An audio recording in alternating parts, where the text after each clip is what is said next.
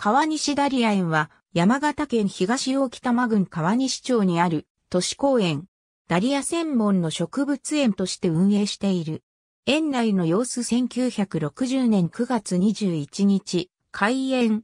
川西町誕生当時、町を代表する観光地づくり、町民が親しめる公園づくりが目指され、話し合いが進められた。その結果、町内の花の会でダリア栽培が楽しまれていたことから、ダリア公園を設営することになった。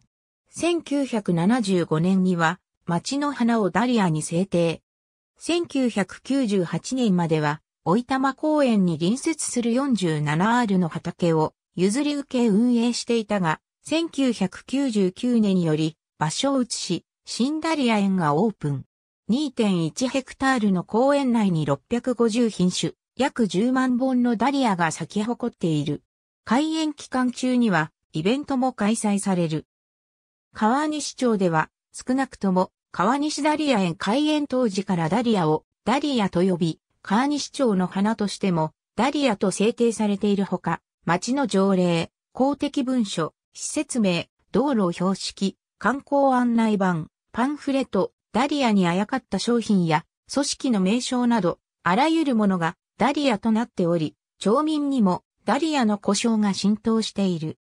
しかし、ダリアの発音、表記は日本ではダリアが一般的であり、川西町外の人や観光客にはわかりづらく、一般性や PR 性の面でネックとなっている。